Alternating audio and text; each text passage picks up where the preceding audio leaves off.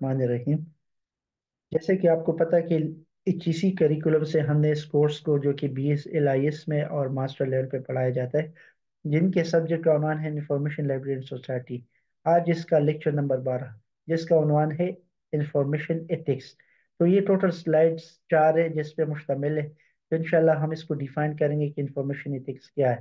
तो let's start from the very first slide what is ethics ethics is etymologically derived from the Greek words ethos. Ethos से निकाला गया है, ये लफ्ज एथिक्स और ग्रीक यानी यूनानी वर्ड्स है which means way of living रहने के जो स्टाइल होते हैं या वे ऑफ़ लिविंग तरीके होते हैं it is branch of philosophy concerned with human conduct, precisely the behavior of individuals in a ये फिलासफी की एक ब्रांच है जो कि ह्यूमन कंडक्ट से रिलेवेंट है मतलब ह्यूमन जो भी कंडक्ट करते होते हैं प्रिसाइसली यानी मुख्तसर तौर पर बिहेवियर ऑफ़ इंडिविजुअल इंडिविजुअल के जो एटीट्यूड होते हैं या बिहेवियर होते हैं, जो सोसाइटी में वो बरोकार लाते हैं. It is concern with how humans act and why they act the way they do और इससे कंसर्न क्या है कि ह्यूमंस एक्ट क्यों करते हैं और वो क्यों करते हैं? तो इसी पे जो जो मबनी प्रोग्राम है, यानी जो सब्जेक्ट है, इसको क्या कहते हैं? एथिक्स अब ethics refers to the ethical requirements of professional practices अब एथिक्स जो है ना इंडिविजुअली अलग है प्रोफेशनल एथिक्स अलग है which are requirement over and अब ordinary morality applying specifically to professionals in the of your profession ये वो तरीका है कि जब प्रोफेशनल में बंदा एन हो जाता है, चाहे लाइब्रेरियनशिप हो, चाहे लॉयर्स हो, चाहे मेडिकल की तो हर प्रोफेशन के कुछ एथिक्स होते हैं।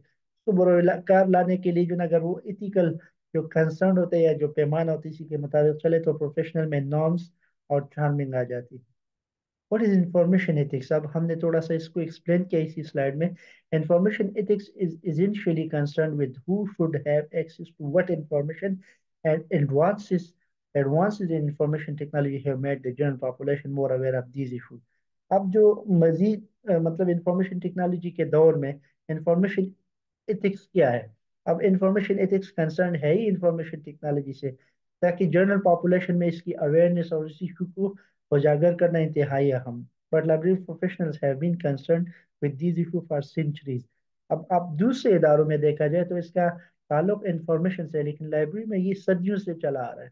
According to Papa and Boka 2017 के जो ना, और पापा, ये इन्होंने एक रिसर्च किया था, उन्होंने इंफॉर्मेशन एथिक्स को एक्सप्लेन क्योंकि information information ethics compliance depends on individuals from understanding of concept such as plagiarism copyright fair use computer ethics information literacy proper referencing and so on अब अगर हम इसे इंफॉर्मेशन के जुमरे में इस्तेमाल करते तो एक इंडिविजुअल की जो ना फ्रॉम अंडरस्टैंडिंग मतलब कामिल समझ उसे कहते हैं।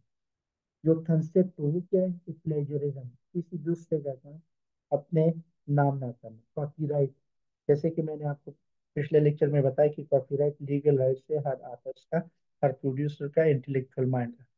फेयर यूज़ ठीक है? कंप्यूटर एथिक्स कंप्यूटर के अलग एथिक्स है एक प्रोग्रामिंग दूसरे प्रोग्राम को जो है गलत तरीके से ट्रांसफॉर्म करना, उस पर अपना लेबल लगाना। इंफॉर्मेशन लिटरेसी प्रॉपर रेफरेंसिंग अगर आपने रेफरेंस नहीं दिया और अपने नाम से मंसूब किया तो ये भी गलत है। तो ये इंफॉर्मेशन एथिक्स में आ जाते हैं। अब role of libraries in information ethics library का क्या रोल है? In libraries information ethics pertains to responsible management, access and dissemination of information while upholding principles such as privacy intellectual freedoms and equitable access library जो ना अगर information ethics के जमरे में लिया जाए तो इनके कुछ उसूल है। वो है प्राइवेसी ऑथर्स की प्राइवेसी स्टूडेंट्स या इंडिविजुअल की पॉलिसी प्राइवेसी जो कि लाइब्रेरी में होते हैं, इसका record intellectual freedom intellectual freedom ये है कि हर किसी को जो ना ये आज़ादी दिया जाए कि वो क्या पढ़ना चाहते and equitable access equitable access का मतलब ये है कि सबको बराबरी की सतह पे एक्सेस दिलवाया जाए। Information ethics, compliance refers to library's ability to adhere to ethical issue within the library and library profession confinement as a whole. Library में इंफॉर्मेशन एथिक्स किया कि लाइब्रेरियंस अपनी एबिलिटी को और अपने एथिकल इशू को मद्देनजर रखे। प्रोफेशनल की जो है ना, जो कदार होती है, उसके हसूल के लिए काम करें। Information ethics include access to information अब इंफॉर्मेशन एथिक्स क्या है? कि एक्सेस टू इंफॉर्मेशन हो। मतलब जिसकी रसाई इंफॉर्मेशन तक को एम्प्लॉयर एंड एम्प्लॉय रिलेशनशिप जैसे कि ऑर्गेनाइजेशन और एम्प्लॉय की एक रिलेशनशिप होती है। Open access and intellectual property कुछ इदारे ओपन एक्सेस की और इंटेलेक्चुअल प्रॉपर्टीज़ के लिए अलग अलग चीज़ें बनाते हैं। Responsibility toward individual and society in short ये कि क्या क्या जिम्मेदारियाँ एक इंडिविजुअल का एक सोसाइटी में। Also access to information is the core mission of librarian information provide करना लाइब्रेरियंस की कोर इशू में आ जाती है। And other information workers for personal development अच्छा जो लोग लाइब्रेरी में आते हैं, वो लाइब्रेरी में क्यों आते हैं? ताकि उसकी पर्सनल डेवलपमेंट हो जाए एजुकेशन बढ़ जाए। कल्चरल इनरिचमेंट में कल्चरल इनरिचमेंट से मिसाल ये कि जिस सोसाइटी में वो रह रहे वो मजीद परवान चढ़े। Layer economic activity and informed participation in and enhancing democracy सबसे बड़ा काम जो लाइब्रेरी का एक डेमोक्रेटिक इंस्टीट्यूशन है, ताकि डेमोक्रेसी का जो ना, रुझान चले, बराबरी की सतह पे। मुझे उम्मीद है आज की लेक्चर आपको पसंद आई होगी। मजीद इंफॉर्मेटिव वीडियो देखने के लिए। और अगली कोर्स इंशाल्लाह हम शुरू करेंगे। तो उसका उनवान हम अगली स्लाइड में इंशाल्लाह आपके साथ एक्सप्लेन करेंगे।